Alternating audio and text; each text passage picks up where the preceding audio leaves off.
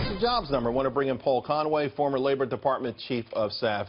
Paul, 211,000. The real unemployment rate continues to decline. I say that's a pretty good jobs report.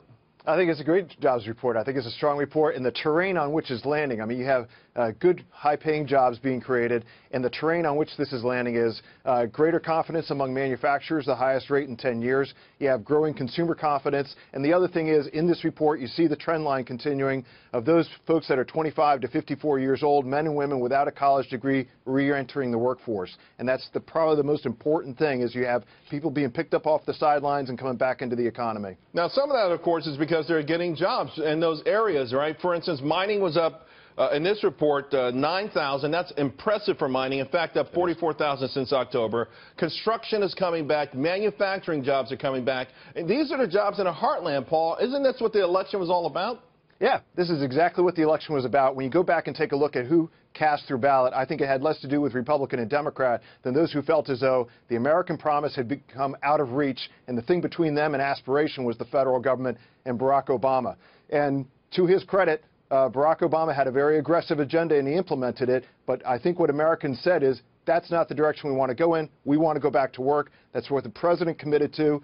And I think what you're seeing today is a good trend line. We need to get the policies in place and the tax policies and the professionals in place of the president to make certain that we have the capacity to execute on what he's committed on. Right. And of course, uh, the Dems are not on board. In fact, they're spinning it. Uh, Nancy Pelosi putting out a statement that reads, April's jobs report shows the economy continues uh, moving forward. However, neither the economy nor American families can afford the devastating health cost increase of Trump care.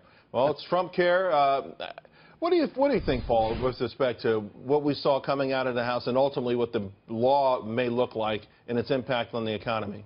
Look, let me give you two perspectives here. Uh, one as a policy professional and the second as a kidney transplant patient that's worked for 36 years to fight kidney disease. I'm 20 years out on a kidney transplant, Charles.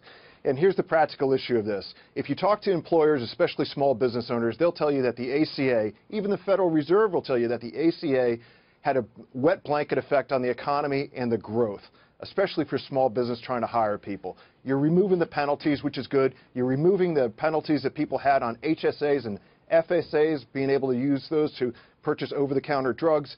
But just as importantly, for patients that are out there, uh, people like me, um, if you want to be in control of your health care, what you want to do is you want the relationship with you and your doctor. You don't want somebody like Jonathan Gruber or Nancy Pelosi telling you what you can and can't do. And I think we're out of the first arena, which is the House, about to enter the second arena in the Senate to try to create some policy here which is better for Americans to drive their own health care. That's the number one thing here, and I think employers will pay attention to it and see it as a positive thing.